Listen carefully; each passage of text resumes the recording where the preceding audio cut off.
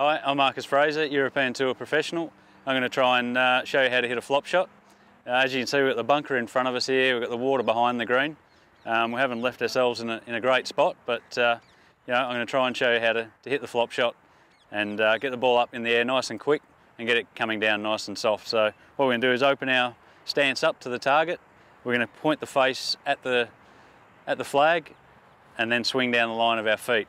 So I'll do one showing you how to do it. The face is nice and open to about 75 degrees. Just swing along the line of our feet.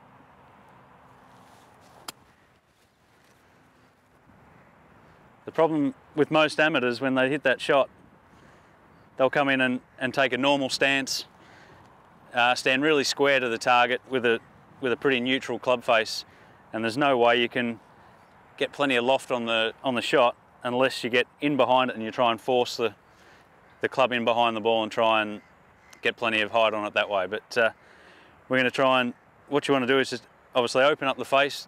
The face is going to, well more loft on the club's going to, is going to equal to more height. So a lot of amateurs, as I said, they sort of come in behind it, then they go in and they try and help the ball up from a neutral stance. And as you can see, it just doesn't work. So you want to get in there, open, open yourself right up, and swing along the line of your feet, but have the face pointing at the flag.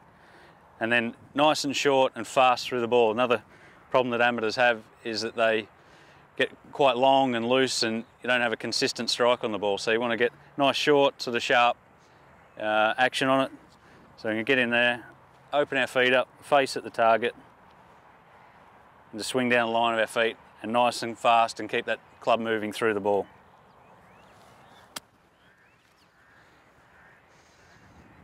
There you go, that's the flop shot.